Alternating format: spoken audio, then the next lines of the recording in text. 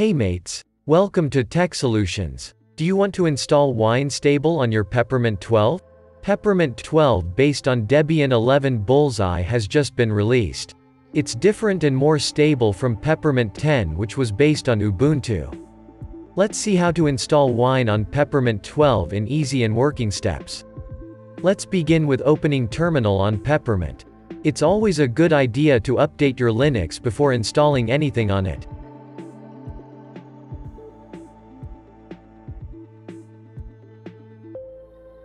Done doing that? You must be seeing we are Peppermint 12 which is based on Debian 11 Bullseye.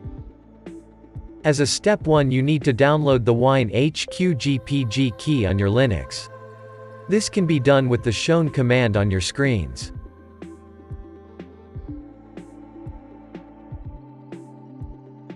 The key can be downloaded quickly and will be saved as winehq.key file on your Linux. Now we need to add it to our peppermint. This can be done with the shown command.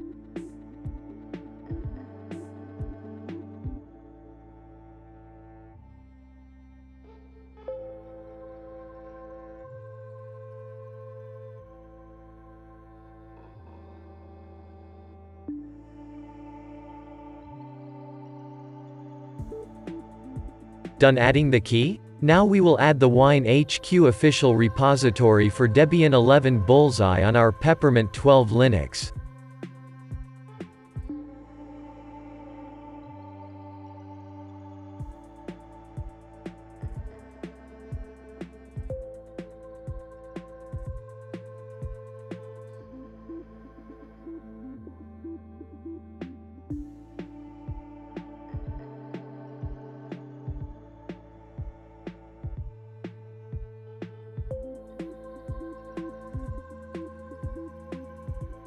This will be saved as winehq.list file in the temp folder.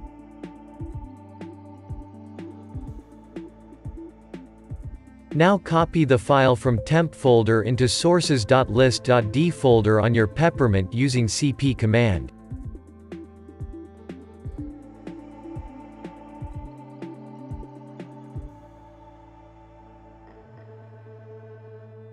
Now you can delete the file from temp folder.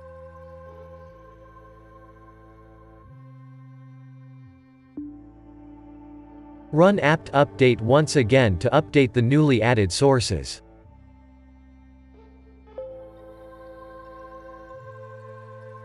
You can now install Wine Stable on your Peppermint 12 using the shown on-screen command.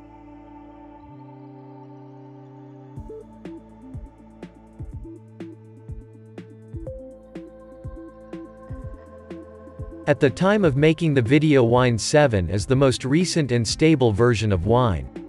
This may take a while to download and install Wine on your Linux OS. Please have patience during this and do not exit or close the terminal until the installation is not finished.